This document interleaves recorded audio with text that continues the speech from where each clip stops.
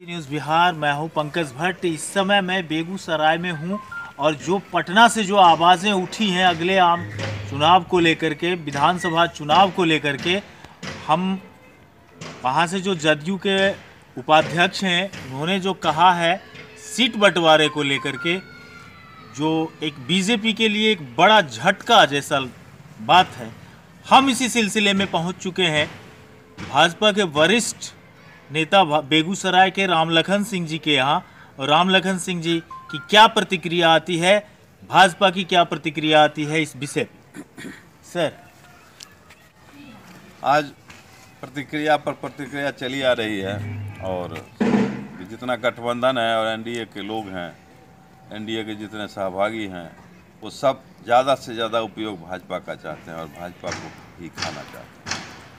भाजपा को अब देखना है कि गठबंधन भी ज़रूरी है और भाजपा के अस्तित्व को बचाना भी ज़रूरी है तो दोनों तरफ़ से हमारे कुशल नेतृत्व काम कर रहे हैं और कुशलता का ये मतलब नहीं होता कि कभी उसमें सफलता दर सफलता मिलती है कभी कभी उसमें थोड़ा सा अवरोध भी आता है लेकिन ये गठबंधन का दौर है गठबंधन का अपना धर्म है और गठबंधन को पूरे गठबंधन को अपना धर्म निभाना चाहिए। तो सबसे अहम सवाल सर यहाँ पे ये है कि जिस तरीके से झारखंड में भी भाजपा को बड़ा झटका लगा है, वहाँ सरकारें बदल चुकी हैं।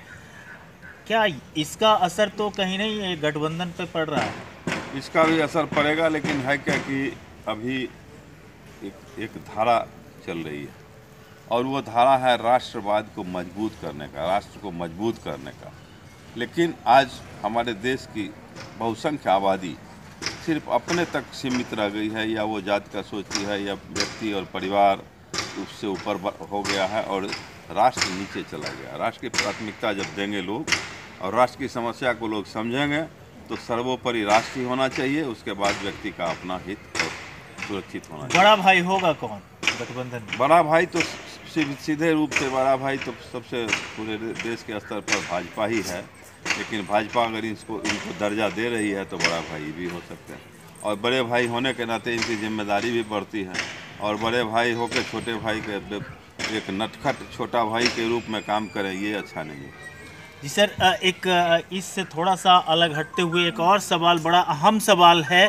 मैं अपने दर्शकों को बताना चाहूँगा कि ये बहुत गंभीर मसला है कि पूर्व महिला मुख्यमंत्री राबड़ी देवी अपनी बहू के साथ मारपीट करती हैं और इस पर भाजपा के तरफ़ से कोई प्रतिक्रिया अभी तक नहीं आ रहा। है वो क्या है कि उनका परिवार पारिवारिक मामला है इसमें कोई शक नहीं लेकिन उस परिवार में किसी बहू की इस तरह की प्रताड़ना हो सर महिला का उत्पीड़न से महिला का उत्पीड़न महिला के द्वारा हो रहा है और हमेशा ज़्यादा महिला ही महिला पर प्रहार करती है।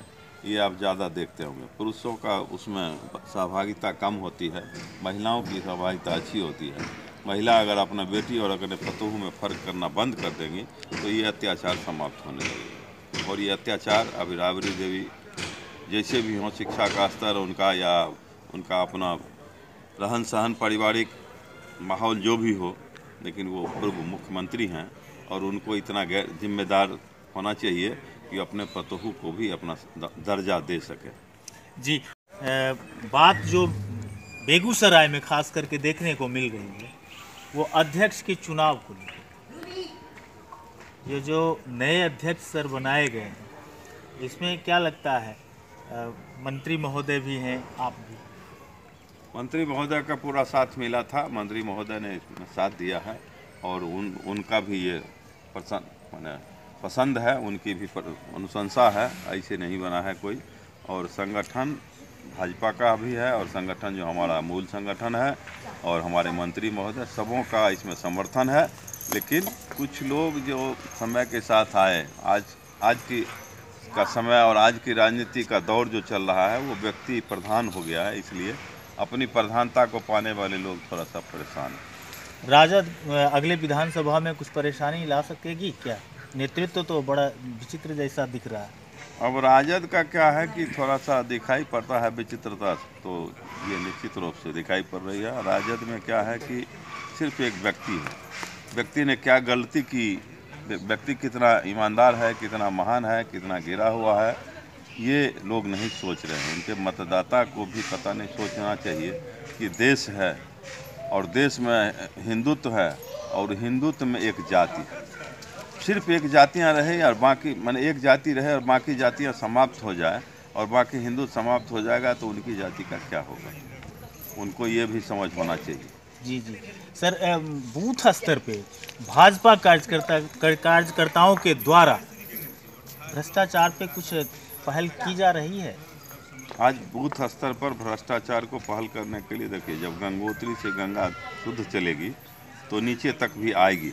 लेकिन नीचे तक जो नदी नाला है, उसका बहाव कितना गंदा है, कितना साफ़ है। गंदे पानी को उसमें साफ़ करके दूसरे काम में लाया जाएगा और साफ़ पानी को और साफ़ किया जाएगा। नदी के तट को साफ़ रखा जाएगा तो शुद्धता आएगी। इसी तरह समाज में और राजनीति में खास करके। राजनीति में व्यक्तिवाद और परिवारवाद समाप्त जब तक नहीं होगा भ्रष्टाचार पूरा के पूरे समाप्त नहीं हो सकेगा। भ्रष्टाचार को समाप्त करना है तो परिवारवाद को समाप्त करना होगा जो कि फिर से बढ़ रहा है। सर लगातार विधानसभा के चुनाव में भाजपा को हार का मुँह देखना पड़ रहा है। क्या कारण हो सकता है? ये देखिए परिवर्तन का दौर है और इस परिवर्तन में हर लोग पहले से तैयार नहीं होते हर लोग उसमें एडजस्ट नहीं कर पाते हैं। लेकिन धीरे धीरे लोग कर रहे हैं और आज देख रहे हैं कि झारखंड में सभी पार्टियाँ एक साथ थी। और भाजपा अकेले थी। लेकिन अकेले होने का मतलब भाजपा अपने लिए अकेले नहीं थी, किसी व्यक्ति के लिए अकेले नहीं थी, बल्कि समाज के लिए अकेले थी। समाज के लिए जो भाजपा कर रही है, उसमें अभी लोग साथ नहीं दे रहे विपक्ष गैर जिम्मेदार की भूमिका निभा रहा है। एक तरफ़ समझिए कि पाकिस्तान और राष्ट्रद्रोह जो भी है, पाकिस्तान का पक्ष लेना, हिंदुस्तान के सैनिकों के खिलाफ बोलना, पुलिस पर लाठी और गोली और क्या है कि पत्थल बरसाना, ये शांति प्रिय प्रदर्शन दिखता है ये अहिंसक प्रदर्शन दिखता है तो फिर हिंसा और अहिंसा क्या होता है समझ में नहीं आती। और अगर ये अहिंसक प्रदर्शन है तो फिर इनका अहिंसक प्रतिकार भी होना चाहिए। और जिस तरह की उनकी अहिंसा है उसी तरह की अहिंसा से उनको पेश आना पड़ेगा। इसलिए अभी जो है तो भाजपा का भाजपा राष्ट्रवाद के धारा को ला रही है जो अभी तक थी नहीं। राष्ट्रवाद ज़्यादा पराकाष्ठा पर था और उसको बुलाने में परिवर्तन हमेशा थोड़ा संघर्षशील होता है। संघर्ष के बाद परिवर्तन आता है और थोड़ा उसमें सहना भी पड़ता है। जी। और सहने के दौर में ही हम लोग सहते चले जा रहे हैं लेकिन जनता समझ रही है देख रही है लेकिन कभी कभी क्षेत्रवाद या व्यक्तिवाद उसमें प्रधानता ले लेता है लेकिन ये अस्थाई नहीं फिर जनता उधर से मुड़कर आएगी। आप देखते हैं कि केंद्र में जब सत्ता की बात आती है तो अप्रत्याशित होता हुआ और जब क्षेत्रीय सत्ता का मैंने विधानसभाओं का, दौर आया तो थोड़ा सा उसमें सिमट गए लोग। लेकिन इन लोगों को अगर देश के लिए काम है देश के लिए ईमानदार तंत्र चाहिए भ्रष्टाचार से मुक्ति चाहिए तो ये आएगा। भ्रष्टाचार की उम्मीद सबको है लेकिन है कि दुनिया पहले भ्रष्टाचार से मुक्त हो जाए तो हम होंगे। लेकिन देखना ये पड़ेगा कि पहले हम कितना भ्रष्टाचार से दूर हो रहे हैं तब दुनिया को हम किस तरह भ्रष्टाचार से दूर करने के लिए प्रेरणा बन सकते हैं। ये तो। बेगूसराय बेगूसराय की जनता का एक मांग बराबर उठते रहता है। लोहिया नगर में रेलवे अंडरपास को लेकर के और पावर हाउस में एक ओवरब्रिज को लेकर के। यहाँ के सांसद मंत्री स्तर के नेता हैं और काफ़ी फायर ब्रांड भी माने जाते हैं। क्या लगता है आपको उनसे ये उम्मीद की जा रही है? ऐसा है कि रेलवे का दुर्गत आपने देखा कि रेलवे पर राजनीति हो रही थी कि हम टिकट नहीं बढ़ा रहे हैं हम टिकट को कम कर रहे हैं हम भाड़ा कम कर रहे हैं। तो रेलवे में बहुत इंफ्रास्ट्रक्चर समाप्त हो रहा था। बढ़ने की बात तो दूर करिए समाप्त हो रहा था और उसको जब हमको मेंटेन करना है तो इस पर किराया बढ़ेगा थोड़ा जनता का खर्च बढ़ेगा।